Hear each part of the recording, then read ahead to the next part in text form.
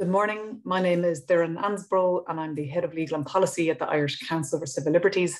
I'm delighted to be here uh, virtually this morning, and uh, I hope you all uh, very much enjoy the day. So, my presentation is on international standards on judicial conduct and ethics. Um, in this presentation, I'll first have a look at the International Human Rights Framework. This specific standards on independence of the judiciary, key content for codes of conduct and ethics, watchouts when drafting codes or things to watch out for basically, and next steps in Ireland uh, following the drafting of uh, uh, guidelines on conduct and ethics. So to begin, uh, a look at the human rights framework uh, and the relevance of the human rights framework to our discussions today on uh, drafting judicial uh, codes of conduct and ethics. So, the starting point, as ever, is the Universal Declaration of Human Rights, and of course, the right to a fair trial. Um, Article 10 holds everyone is entitled in full equality to a fair and public hearing by an independent and impartial tribunal. We see that article reflected in the International Covenant on Civil and Political Rights, and of course in the European Convention on Human Rights, where the requirements of an independent and impartial tribunal um, are very clearly set out. And many uh, international human rights experts have emphasized the importance of the, uh, you know, an independent and impartial tribunal, not just to uh, fulfilling the right to a fair trial, but also for instilling confidence in the rule of law itself. We also have the very clear positive obligation to combat discrimination in a number of UN human rights treaties. There is, of course, the common uh, anti discrimination article across the, the human rights treaties, but in particular, we have the UN Convention on the Elimination of Discrimination Against Women and the UN Convention on the Elimination of Racial Discrimination, both of which require a competent, independent, and impartial tribunal to provide an effective remedy against acts of either uh, uh, discrimination against women or racial discrimination. In terms of connecting that uh, requirement of independence and impartiality to the, co the concept and, and the uh, context of a judicial uh, code of conduct uh, uh, or indeed uh, of ethics.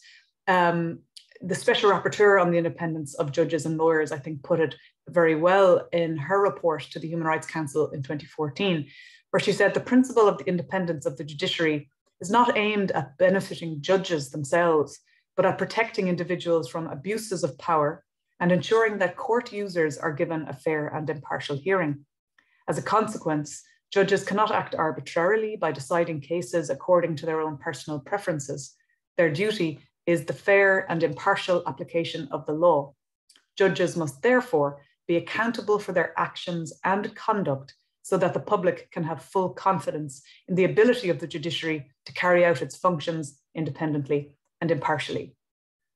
So we, the, we see the importance there of uh, connecting conduct and accountability to uh, ensuring uh, confidence in, in, in um, an independent and impartial uh, judiciary. So the question is, have international experts addressed the issue of judicial independence?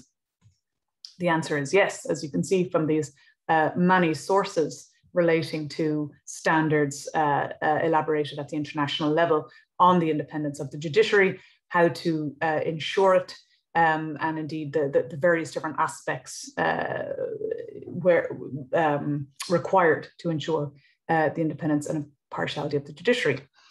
Um, I'm not going to go through them all, and I think many of the other speakers here today will go into some of these sources in, in a lot more detail than I will have time to um, now. Uh, but just a very quick run through.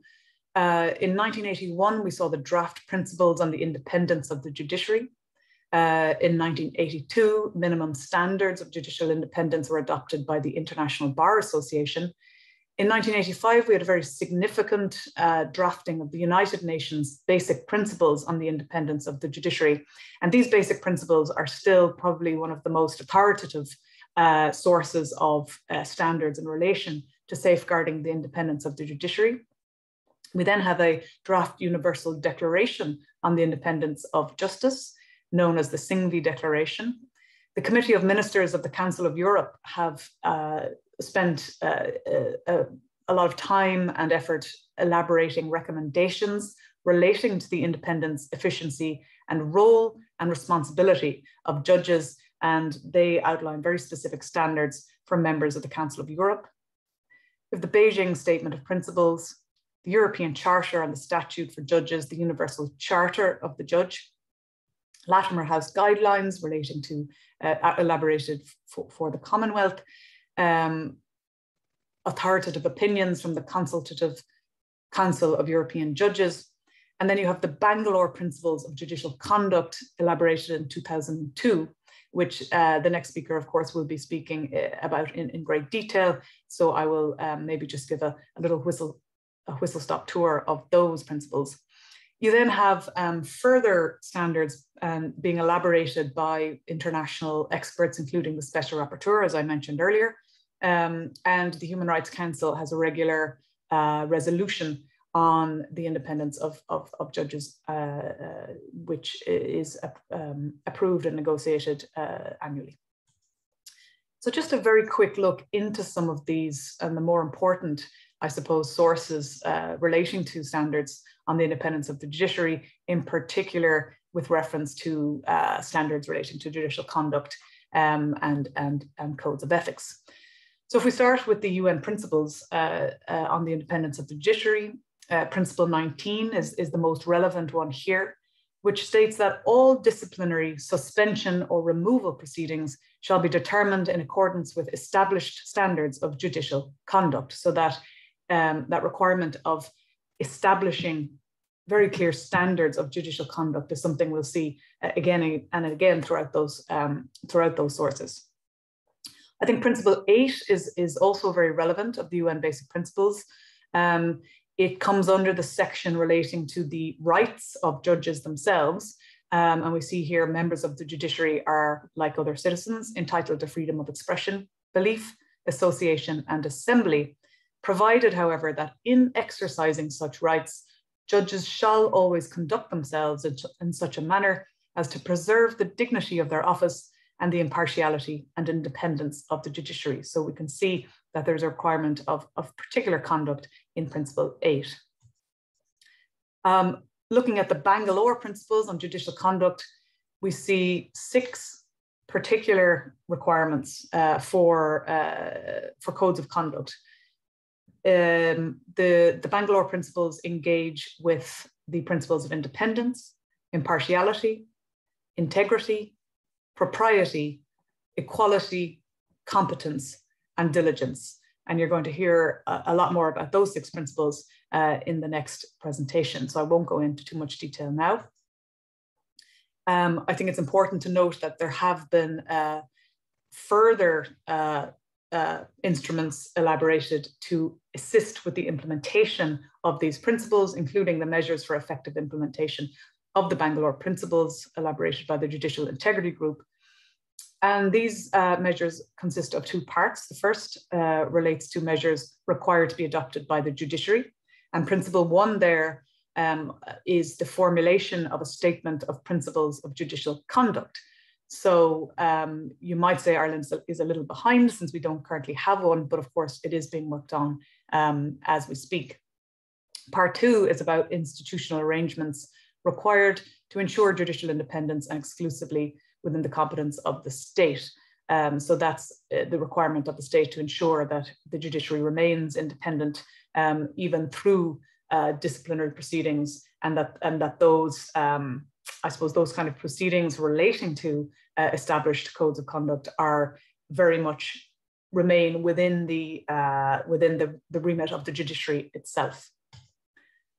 So what I'm calling watchouts here uh, uh, are basically general principles to ensure are respected and upheld uh, when these kind of codes are being uh, drafted. Firstly, I think uh, of great importance is that the judiciary itself has to be involved in, in drafting the code of ethics and conduct. And of course, we know the, the Judicial Council is in charge of, of drafting our code here, so that's positive. The rights of the judges, uh, the rights of judges must be upheld. So of course, um, we, we should see reference to, to rights of judges themselves, potentially within this code of conduct. Any disciplinary proceedings related um, to this code or based on the code uh, must be underpinned by fair procedures, and it may be good practice to uh, elaborate on those procedures um, when we are uh, elaborating on the code itself. Any sanctions related to um, uh, dis disciplinary proceedings must be proportionate, um, and definitions uh, need to be clear within, within the code. Um, I worked previously in Tunisia when the judiciary was elaborating its code of conduct, and you know for the International Commission of Jurists, and one of the one of the key criticisms we had at that time uh, were that was that uh, uh, certain um, concepts weren't defined um, accurately or clearly. Uh, so, for example, shortcomings in performance uh, was was one uh, was one um, element of of of a a more general sort of um, code where, where, where, a judiciary could be held accountable for a shortcoming in performance, which of course uh, it, it, goes against the, the principle of, of uh, clarity in relation to any misconduct that, that a judge could be held accountable for. So um, just looking now at the next steps in Ireland, just to kind of smoothly transition to, to, the, to the next few speakers uh, today. Um, I, of course, we have guidelines on judicial conduct and ethics um, having been drafted, and they are to be adopted by the Judicial Council, uh, I believe, by June 2022, according to, to the relevant statute. Um, an informal resolution process is to be implemented and a procedure for making complaints. And I believe the, the Judicial Council has committed to both of these steps in, in September 2020. Um, and I suppose one thing I might leave you with is, uh, uh, is whether to consider um, practical guidance that would accompany uh, the guidelines on, on conduct and ethics uh, for interpreting the, the, the, go, the code, in particular to make it clear and accessible to judges, decision makers, and of course the public. and that kind of brings us back to the idea that ultimately all of these actions are about ensuring that everybody has confidence in our judiciary, but also in the rule of law. Thank you for listening and uh, enjoy the rest of the day.